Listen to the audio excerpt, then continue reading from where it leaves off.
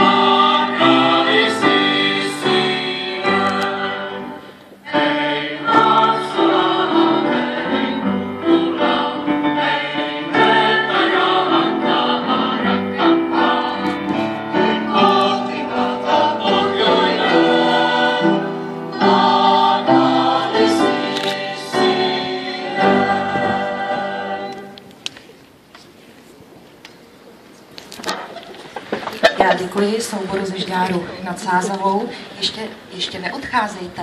My jsme totiž dnešní slavnostní zahájení eh, přejmenovali na organizačním štábu na grilování významných hostů před Jiráskovým divadlem.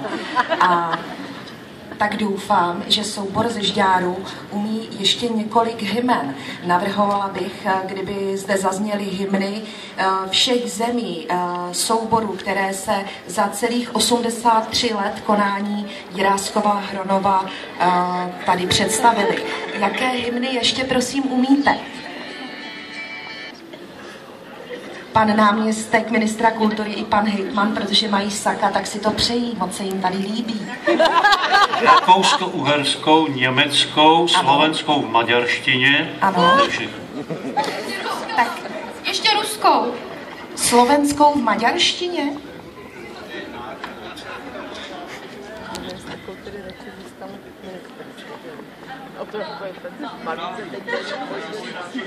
To je v maďarštině, ale to se dozvíte, když navštívíte zítra hru hymna a tak tam se vypráví mimo jiné o tom, jak vlastně ta hymna vznikla a ta maďarská verze byla jedna, jedna z těch stupňů, který tam byl.